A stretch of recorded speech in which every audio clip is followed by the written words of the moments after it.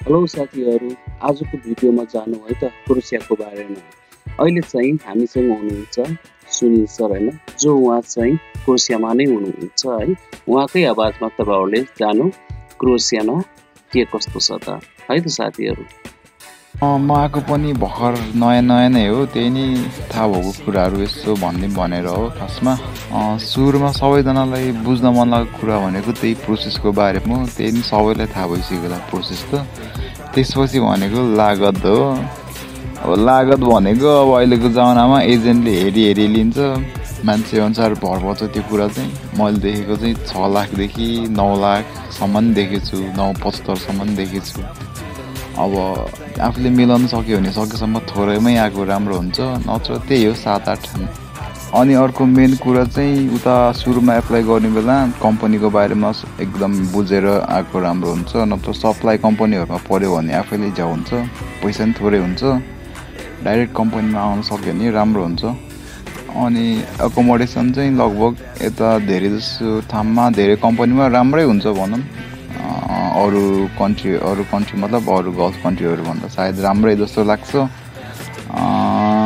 अनि अनि अरू कुरा चाहिँ कोही के सोध्नुहुन्छ भने ड्युटी कति आवर्स हुन्छ ओटी हुन्छ कि हुन्न भनेर सोध्नुहुन्छ। लगभग धेरै जस्तो ठाउँमा आठ आवर आठ घन्टा हुन्छ। अनि ओभर टाइम चाहिँ कम्पनी हेरी हेरी हुन्छ। खासै ओभर टाइम कुनै कुनै कम्पनीमा मात्रै देखेको छु मैले सुनेको छु देखेको छु पनि। त्यही हो। अनि अनि कति दिदीबहिनीहरूले सोध्नुहुन्छ सेफ छ कि छैन भनेर। युरोपियन कन्ट्रीहरू लगभग सबै सेफ कन्ट्री जस्तै लाग्छ मलाई चाहिँ। सुनेअनुसार पनि देखेअनुसार पनि।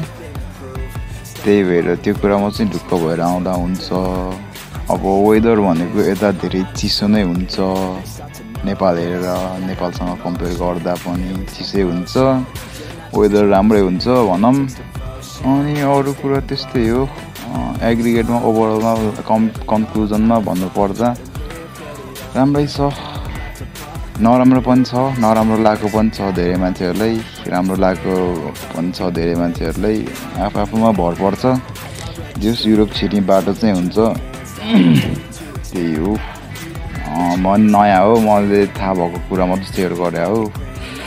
अब अरू केही केही त छैन। अब त्यही नै यस्तो मिस्टेक भयो भने त्यही हो सरी सो साथीहरू देखिहाल्नुभयो सुनिहाल्नुभयो होइन युरोपको बारेमा क्रोसियाको बारेमा। यदि यो च्यानलमा राखेको भिडियोजहरूले हेल्प पुगिरहेको छ भने प्लिज च्यानल चाहिँ सब्सक्राइब गरिदिनु होला र साथमा राखेको बेल आइकन पनि प्रेस गरिदिनु हस् त thank you and bye bye